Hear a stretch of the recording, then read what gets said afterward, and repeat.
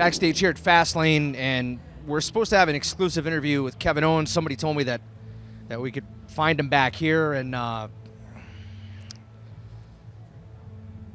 excuse me, Kevin.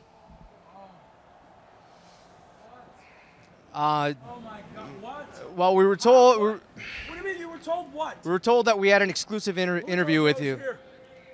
I, Look at you, don't you see the lates I went to? I took that from the props truck. It's a fake plant. That's a fake plant. What do you want? You just hand me a microphone. There's no purpose to anything. Get come over here now. You already bothered me. God, just come on. Get, move. Oh, first of all, I just had a grueling match. Can't you hold this thing? What do you want? do you have any comments about your match with Dolph Ziggler? My head hurts. And your face is making it worse. Give me a second here. Comments. Yeah, you know what? I do actually. Rich, I'd like to dedicate my victory tonight to every single member of Dolph's family that was in the audience tonight and came out to support me because they know how absolutely unbearable Dolph Ziggler is as a human being.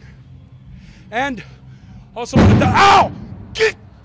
I can make noise too! I Also want to dedicate my victory to all of Dolph's friends from the high school that he hangs out at on his days off, his old high school. He goes back in there, hangs out in the, you know, the play yard at recess. He's a cool guy, you get it?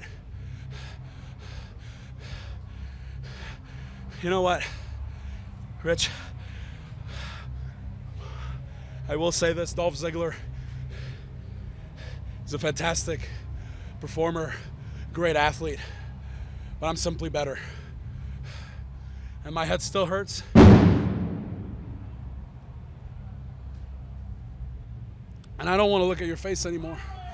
My vision's actually a little blurry from kicks. How many times? My vision's blurry. I don't want to see your face. I don't want to bump into anything. We're trading. We're trading.